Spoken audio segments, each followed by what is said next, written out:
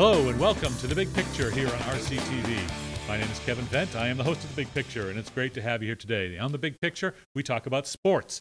And why do we talk about sports? Well, we don't really know anything about anything else, so that's what we're here to do. So, my name is Kevin Vent. As I said, I am the host, and I'm here today with my guest, Nick Face from Sports Zone 101. 101. I'm wearing the new shirt. You tonight. are. I you hope are. that's okay. That's fine. Okay. Yeah, Sports Zone 101, Yep. um, which is, uh, uh, you, what do you do with that? Well, we're getting ready for summer. Okay, you Kids do- are it's out a- of school it's- it's a youth of- sports thing, right? Tuesday, so it's youth Yeah. sports. So come on down. Town of Reading has a lot of great things, Uh-huh. and other towns too. All right, great. So we're not talking about that today, but but we just wanted to give you a little pub there, so that's good. All right, so we have several things we want to talk about today. I want to jump right into it without a whole lot of uh, uh, fanfare, but we're going to start talking about uh, the baseball All Star Game is coming up in a few weeks. And uh, the fan voting is out there, and, and a lot of people have a lot of different uh, opinions about fan voting.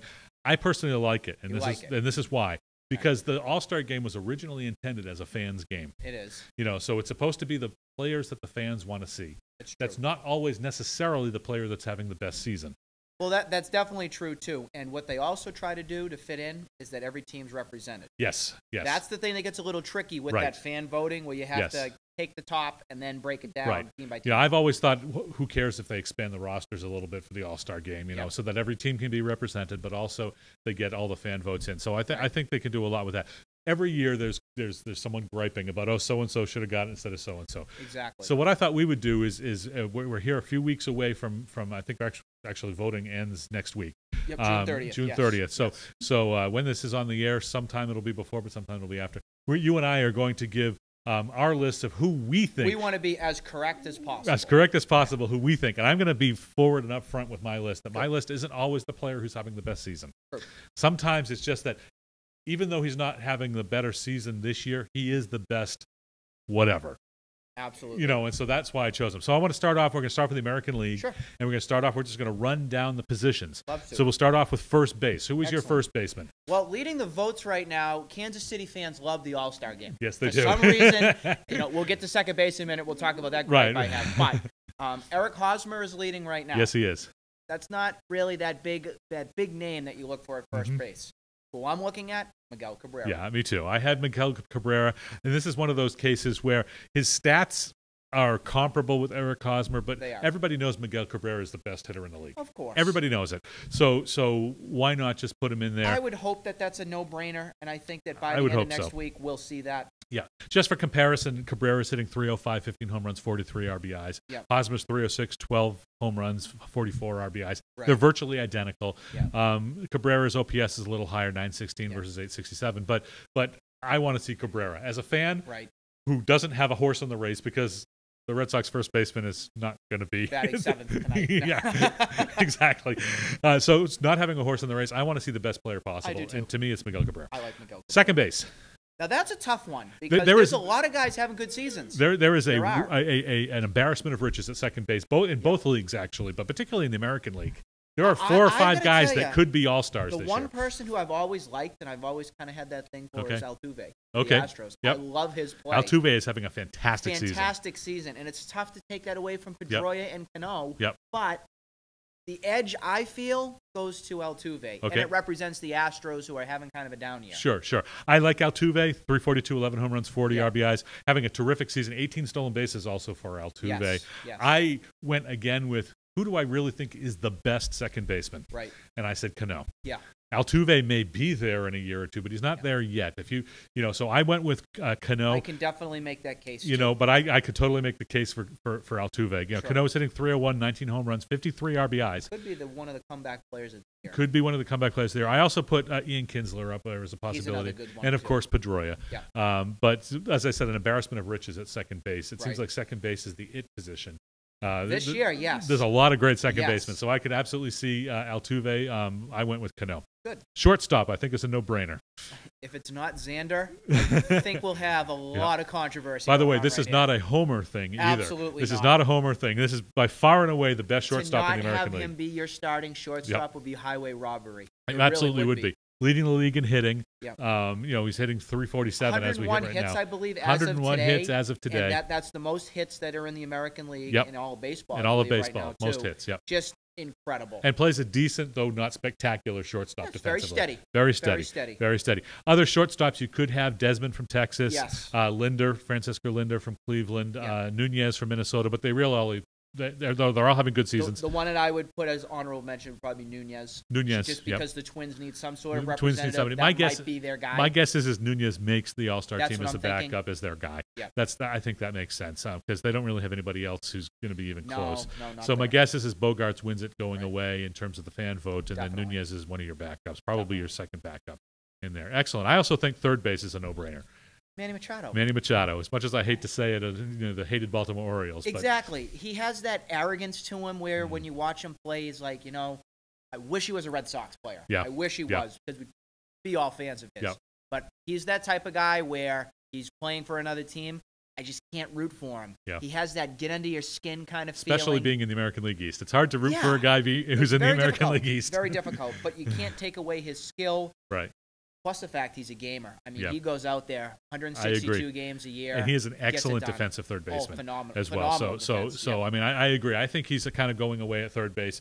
Um, a couple of honorable mentions. I think you got to put Donaldson You in, have to. the reigning MVP. Yeah. Uh, and he's not having a terrible season. He's No. 274, but he's got 17 home runs, um, 946 OPS, which is pretty pretty good. Yeah. Um, and I said Escobar from LA also. Okay. Um, the LA Angels. I think the LA Angels are going to have a starter, so you don't have to worry about that one guy. We'll get to that in just a moment. Now, but is Adrian Beltre injured? I, I, Beltre is injured. One of the things that I looked at is when I was thinking about it is I didn't put anybody down who's played less than 65 games That's true. in the season Yeah. thus far, and that's that. So basically, these players have to have played the entire time. There are there are people who are having good seasons but Yeah. have only played 40 games or 30 games. Right. To me, they haven't. You know, to put them up against someone like an Escobar who's played the entire season. well, he deserves it. he He's didn't deserve it. He's been out there every day. every day grinding Um, so, so I think I think uh, Machado makes the All Star team. I also think Escobar makes the team Yeah. as the backup, but I think Machado is your obvious starter. definitely.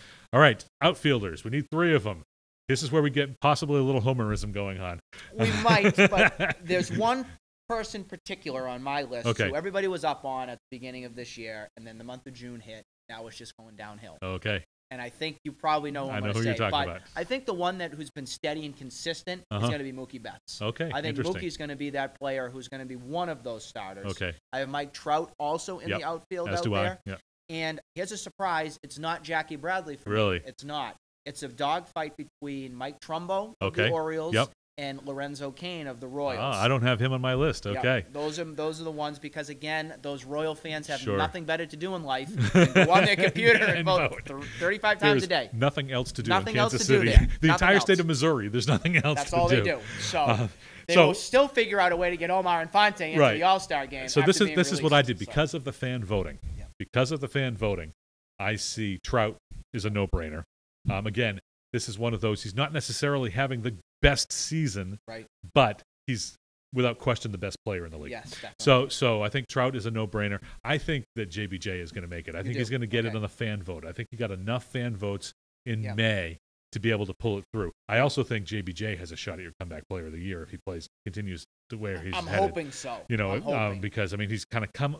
You know, this is the guy who we said if he can hit his weight, then with his defense he'll be fine. And as of today, he's hitting 301 with 12 homers and 45 RBIs and 959 OPS. That I understand June has been different than May, Yes. but but those are really good numbers. And I actually have Betts, and this is my homerism. Yep. Right now, I'm going to flash it on the screen. Homerism. Yep. There it was. Okay. Homerism on the screen. Mookie Betts is my third. Um, I just think he's a dynamic player. I really do.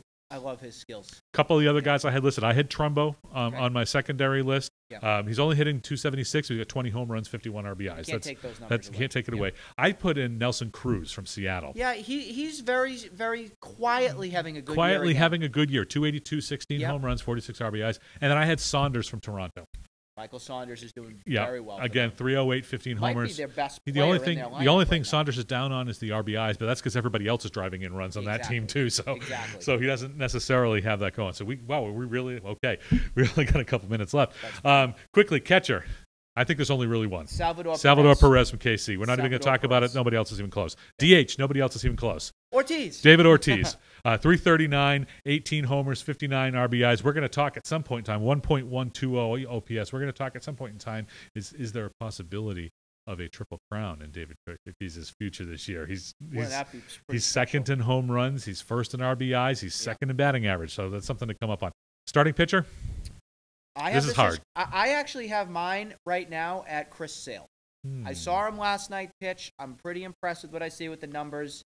But you notice how I had Bradley off my list? Yeah. And there's a reason for that. Okay. Because Steven Wright's making this All Star team. Steven Steven Wright. I Steven think Ste- Wright's my guy that I I give the Red Yeah. Sox the edge on. I am totally with you. I think Chris Sale is your starting pitcher in the American League. The the .99 WHIP does it for me, 102 Ks. Um, but I also think Steven Wright is making this All Star team. definitely is. I just yeah. had a third pitcher there, also Danny Salazar from Cleveland. one, two, three. Yeah, there we Same go. Those are those are those are three of them that I Yeah. have. I didn't put any relievers on my list. I don't know if you did. Um, no, I didn't put any relievers on my list, but the guy from the Orioles, Zach Britton, has to be an All He's, he's he's an excellent pitcher. He's had He's a been great excellent season. this year. He's had a great season. Yeah. Well, that is our American League, and we've only got like a minute or two left in this segment, so Yeah. we're not going to be able to do the National League. So I think what we're going to do is we're going to come back in the next segment Sure. and talk National League. We may do an extra episode talk about That some of the be other cool. things. We That would be good. Yeah. So we're going to cut it right here, uh, even though we're a minute or two short, and we're going to talk about the National League All Stars in the second half. good. All right. Uh, my name is Kevin Vent. I am the host of the Big Picture. I'm here with Nick Pace. We'll be back in just one moment. Hi, I'm John Doherty. I'm the superintendent in the Reading Public Schools, and you are watching RCTV.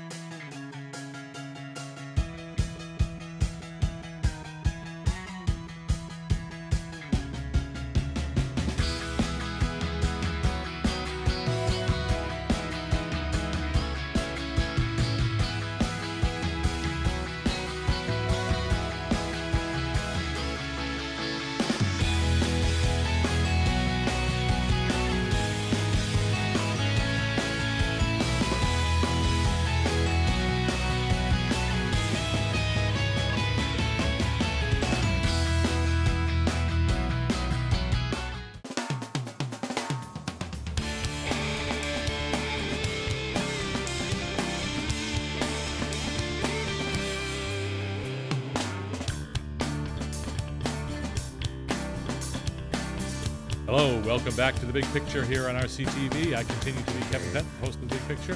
This continues to be Nick Face Whether I returning in, like or not. whether he likes it or not, from right. Sports Zone 101. And uh, we've been talking uh, baseball, specifically the All Star game Yeah. in the first half, and we talked about who we thought the American League All Stars could be and should be Yep. in the first half. And here in the second half, we're going to talk National League. A little more challenging. We're not as familiar with the National League. No, we're Also, not. I don't think there are as many clear cut all star, uh, clear cut starters as there are in the American League. You know, it, certainly at shortstop, at third base, designated hitter. Um, I in the American League, it was Mm-hmm. clear who the best guys are. Even in the outfield, you know, it's clear Mike Trout is the best player in baseball. So, so some of them are pretty clear. In the National League, it gets a little fuzzier, I think, because I think there's lots of guys to choose from necessarily, and there are some positions where they're just not having a particularly good year no. as a position. And they don't have any fans who are Royals. They don't over have- in the National right. League. They don't have the Kansas City Royals to try to vote them in. leading leaderboards right now. That's right. That's right. So let's uh, jump into the National League. We're going to start Sure. off right at the top again with first base. Who is your National League starter first baseman? This is tough, to tell you the Very truth. tough. It's tough because There it's down to be a- between two players. To me, I there's a dearth of good first basemen in the Amer- in the National League this year. I really like Paul Goldschmidt, Hmm. but I also like Anthony Rizzo. Ah, Anthony Rizzo. Okay. But I'm really riding high on the Cubs right now, so I'm going to go Yeah. with Anthony Rizzo. Going with Anthony Rizzo from the Cubs. I think there's a chance. I think Anthony Rizzo will probably be the starter because of the Cubs, because of the national interest in the Cubs, as well as they're selling the ballpark out every Yeah. day and that kind of thing. Um, I had Goldschmidt as my number two. Yep.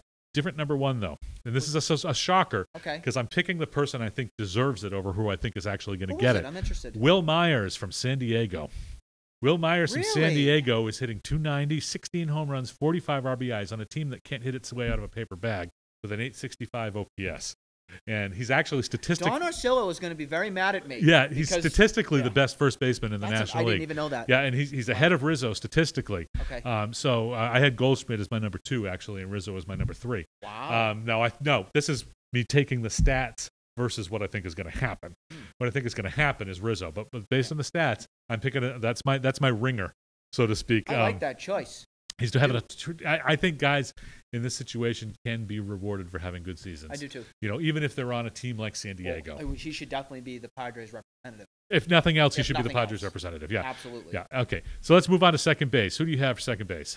Well, again, it's the It's- Cubs it- leading right the there, Cubs, but yeah. there's another guy who I love with Okay, speed. let's see if it's the same guy. I And. I bet you we have the, the same two. I have Zobrist as my starter. Yeah. I like Zobrist, but Dee Gordon is the other one from Miami. Dee Gordon from Miami. That I don't have Dee Gordon on, Really? Miami on my list. Okay. I have Daniel Murphy from Washington. That he's having a good year 352. Yes, he is. I don't. I'm not going to say anything else. Yeah. 352. He's the leading hitter in America in, in Yeah. baseball. Yeah. Number one hitter in baseball in terms of batting average. I think that means you're an all-star. Whether or not you're the starter, Right. probably Zobrist is the best all-around player there. Though Mm-hmm. Murphy is is hitting 41 points better than Zobrist. And what's he also has three more home runs Yep. and has five more RBIs. So so I mean, really, Murphy is the best overall player. An I think. advantage for Zobrist because if he makes this team, he doesn't have to be locked in at second base. Yeah. The whoever the coach is, um, who is that coach? The coach the of Mets the- coach. It's gonna be yeah, the Mets coach, yeah. the, Terry for, um, Collins the is the coach of the National League. He can put him in the outfield. He can put Yeah. him somewhere to put Right. him in into the game. Yeah. So that might be a really good advantage Yeah. of having him there for the All Star. I do think that you know this is one of those cases where I think Zobrist is probably the best second baseman in the National League. Yes. I think he is. He's just not having the best season. So Right. I also had LeMahieu from Colorado on my list. Yeah, he's surprisingly having a good 324. He only has four home runs and 25 RBIs, but he's Yeah. hitting 324, which is pretty good. Um, so, uh, and I have a question about Colorado as we go forward here in just a minute. Absolutely. But, but uh, um, so uh, second, so that's second base. Uh, shortstop here in the National League. I, I really like the story of Trevor Story. Trevor Story. from the from the Rockies. Yeah, yeah. It's been um, really nice to have that kind of Yeah, story for the Rockies because they parted with their franchise player, Yep. which was Troy Tulowitzki. Yep. They found this guy kind of out of nowhere, came up as their prospect, Yep. and's really delivered. It's it's it's really nice to see. I think I have him as my number one also. Trevor Story from Colorado, only batting 264, but he has 18 home runs, 46 RBIs. The you- story is terrific. Even in Colorado, Even in Colorado, yeah, you got numbers the numbers. You know, um, other possible shortstops I had was Seager from L.A. Yep. um, and Cozart from Cincinnati. Yep. Both of whom are having decent seasons. But shortstop is actually a National League weak point. There isn't really Big anybody time. who's who's really the There's guy. Nothing there. You know, you would have said all those years Tulowitzki, Yep. but of course he's gone He's now. He's in the American League. Um, so I mean, there's really no guy you point to. So I, I if I had my druthers, I would take Story as Yep. well. Uh, third base.